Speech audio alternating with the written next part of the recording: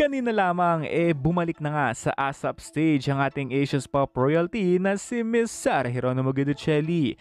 Nandiyan at nag-welcome sa kanya si Nami Regine, Ogie, Eric, Gary at si Darren. Bumulusok ang kanyang performance dahil nag-trending ito online at Twitter. Kaya naman instant trending ito dahil sa TikTok din eh labis na rin talagang sumisikat ang kanyang number one smash hit song na dati-dati. Ang kanyang second single na Kore eh bumubulusok din sa online platform. Pero noong Sabado, eh, merong sumayaw na reyna din ng Kapuso Network si Miss Marian Rivera kasama niya si Teacher Jercel at si Ma Salvador sa Itbulaga. Narito, sabay-sabay natin itong panoorin. Five,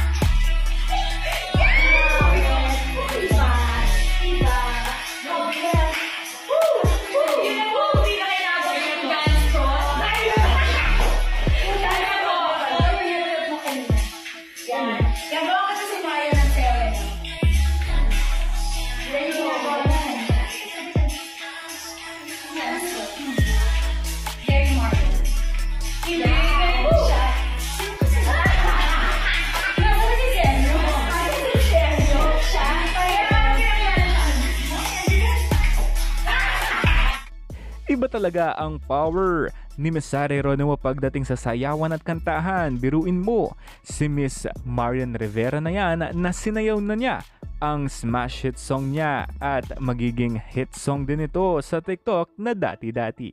And that's all for now. This has been Jigo Manangan TV. Thank you for watching.